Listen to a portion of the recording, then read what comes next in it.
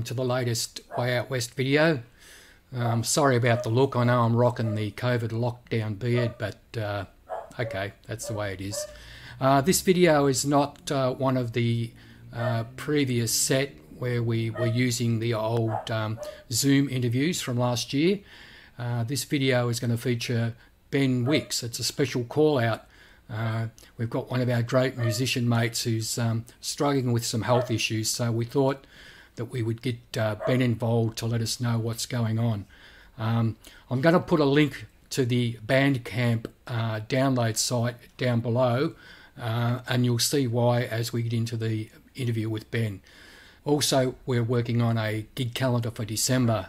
Uh, it's going to be very exciting. We've got three artists coming up, so uh, stay tuned and we'll get some more information out to you.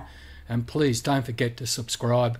I'm really digging getting some comments on the, the videos. So, um, yeah, leave some comments, subscribe, and then um, we can keep doing these for you.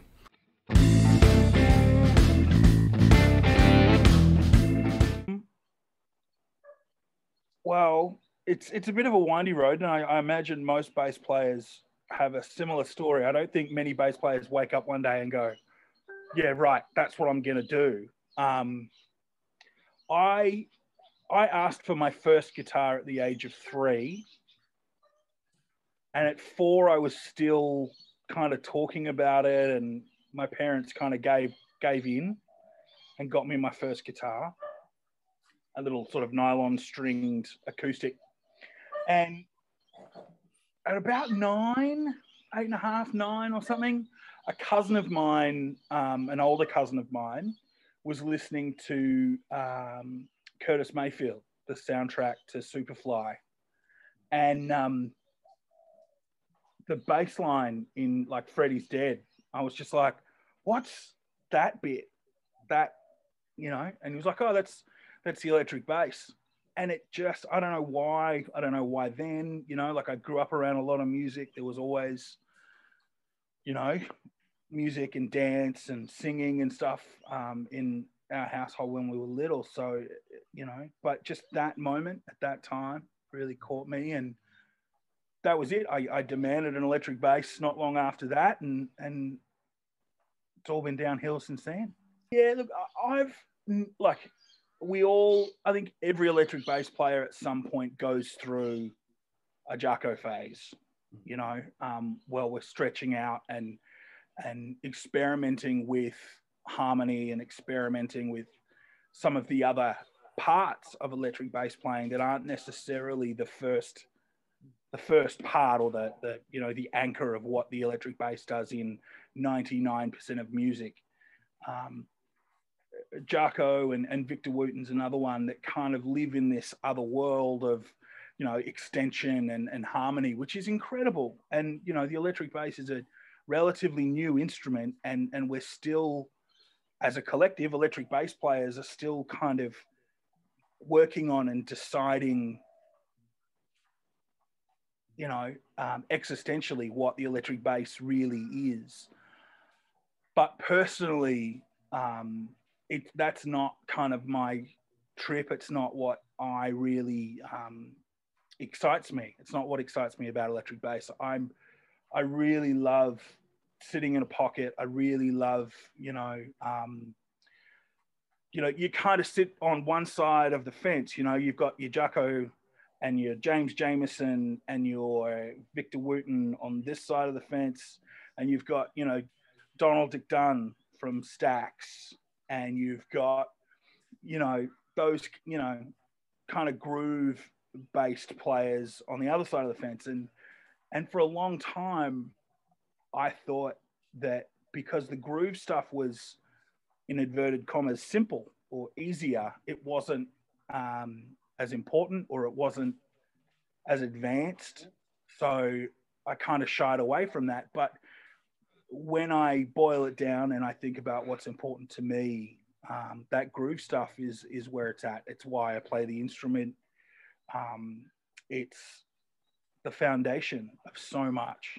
And a perfectly written bass line negates the, the, the, the need for any other instrument except for the melody. I mean, and I I would tick the boxes and say for me personally, on every level, um, it has been successful. Um, I am very very happy with where it's at, where it's come from, and, and where it's going. Um, the reality is that I was running around town playing bass for just about every blues band that would have me anyway. Um, and I found myself more and more kind of getting, kind of painting myself into a corner where I was doing a lot of the work behind the scenes that a lot of other guys didn't want to do. The, the, you know, maintaining the Facebook and pulling the assets together, the videos and the that poster art and all the stuff that is what makes any commercial, you know, creative thing work outside of little front bars. Um, and it, you know, a couple of years into kind of running around and doing all this work for everyone else, and kind of realizing that at the end of the day, the second someone else turns up that can do the gig better than me, essentially I've done all of this work and and not really benefited um, personally from it.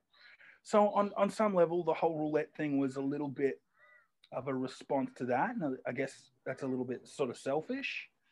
Um, but then at the same time, I really wanted to to raise a flag and and show artists and, and guys in the blues community that all these things that I'm doing can be done very simply, you know, I'm very, I'm an open book. Anyone asks me about any of it, whether it's the merch or the recordings or the tours or, you know, um, it, it's important to me that, you know, it's a part of a community. It's, um, yes, yeah, Jesse, Jesse's had a bit of a rough, rough trot, and um, he was one of the guys that really stepped up and helped me a couple of years back when when I was ill. Um, so I, I felt um, a real um, a real need to get involved. Um, and this way, this was a way that I thought not only could help right now, but it's something that can sit there and bubble away and continue to help him um, into the future over the next 12, 18 months. Um, so we, yeah, we, we, I've, I've got a whole bunch of recordings. I kind of record a lot of stuff, a lot more stuff than um, will ever be heard by anybody and I just kind of went back through the archives and dusted off some tracks, and um, it's come up really well. I'm really, really happy with it. Um, and to save the expense of putting it on a CD, because that's one of the biggest of all of the kind of costs. That's one of the biggest ones um, for our the roulette's little live recordings, anyway. Um, so we decided not to put them on CDs so that more of the money can go to Jess. And uh, it's on Bandcamp. It's on the, the Blues Roulette uh, Bandcamp. So if you search, you get into Bandcamp, you search Blues Roulette, or you search Ben Wicks, or you search Jesse, I think you find it.